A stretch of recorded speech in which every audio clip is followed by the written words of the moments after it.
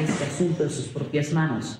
El senador Lindsey Graham dice que a los carteles se les debe también denominar terroristas. He said, Senator Lindsey Graham said, we're going to unleash the fury and might of the U.S. against these cartels and give the military the authority to go after these organizations wherever they exist. Él ha dicho, y cito al, senador que tenemos nosotros que desencadenar, perseguir a estos carteles y darles también al ejército la autoridad para que haga lo mismo, ir persiguiendo, ir en contra de esos carteles. Sí, en Estados Unidos. Extranjero intervenga en asuntos que solo corresponden a los mexicanos. Cuando estaba el presidente Trump, eh, me propuso que se le diera trato de terrorista a los eh, eh, narcotraficantes.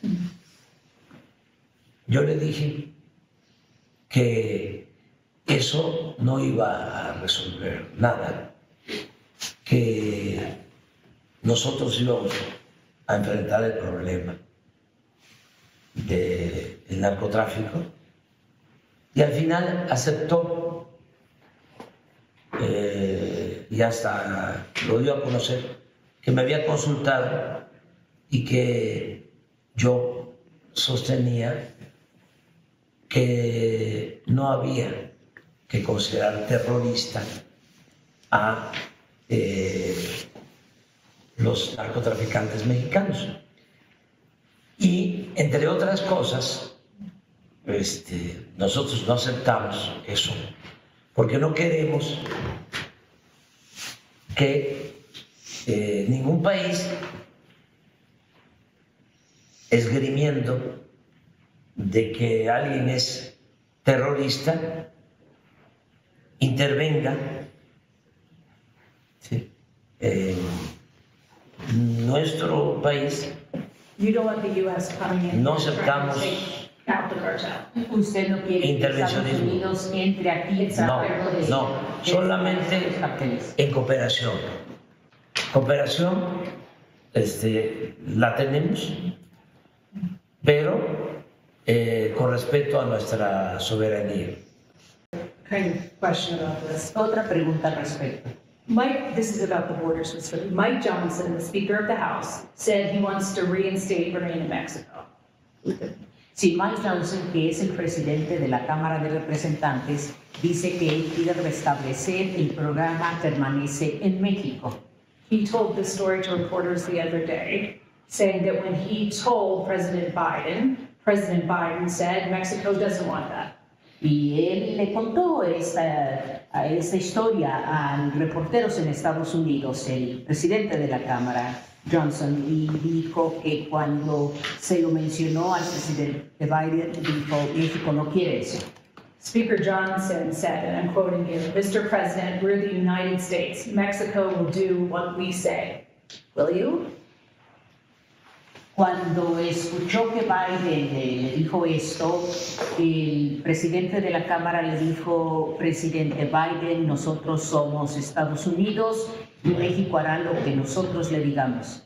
¿Es así? ¿México hará lo que Estados Unidos le diga? No, no.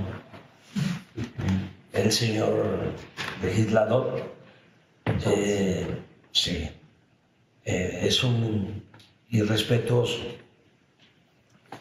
Y si es cierto lo que expresó, muy prepotente. Porque nosotros somos un país independiente, libre, soberano.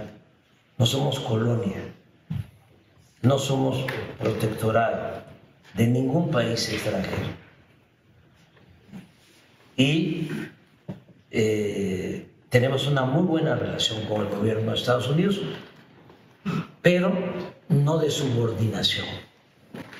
Eh, cuando hablo con el presidente Biden, y puede ser que el presidente Biden le haya contestado eso, porque el presidente Biden es respetuoso de nuestra soberanía, como lo fue el presidente Trump.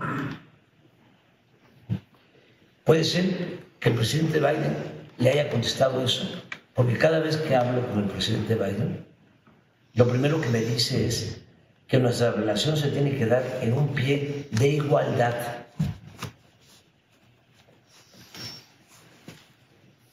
Nada más que hay mucho oportunismo, con todo respeto, en algunos políticos en Estados Unidos. Regresando al tema de las drogas, ¿por qué no eh, se busca una solución más eficaz, más humana para enfrentar el consumo de fentanilo que causa eh, la muerte a 100.000 jóvenes cada año. Muy doloroso lo que estoy diciendo. ¿Por qué no se va al fondo del asunto? ¿Saben qué, este, eh, ¿qué proponen? Ellos dicen que la raíz del problema son los carteles. No, la raíz del problema es el consumo. O sea, eh, Vamos a, imaginar de que por arte de magia